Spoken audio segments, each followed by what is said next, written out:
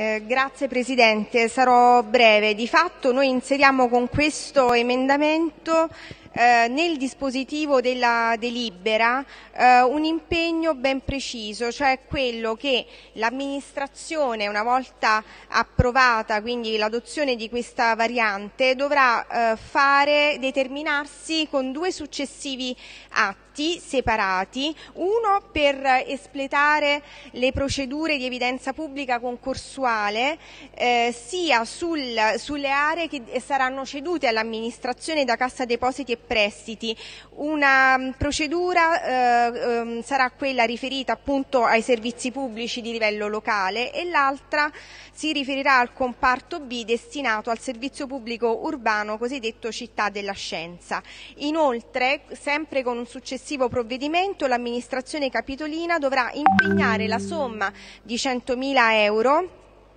relativa alla progettazione preliminare dell'opera pubblica di livello locale e eh, è già individuato il capitolo di spesa e il centro di costo su cui questa somma dovrà essere impegnata per dare la possibilità all'amministrazione di espletare la procedura, come dicevamo eh, ieri, nei tempi eh, necessari per arrivare all'approvazione del programma già con una proposta progettuale selezionata dall'amministrazione. Credo, poi lo vedremo magari anche nelle prossime settimane quando approveremo il bilancio di previsione che eh, troveremo appunto stanziati questi 100.000 euro proprio per consentire di partire immediatamente nei tempi più rapidi possibili con la procedura di concorso. Grazie.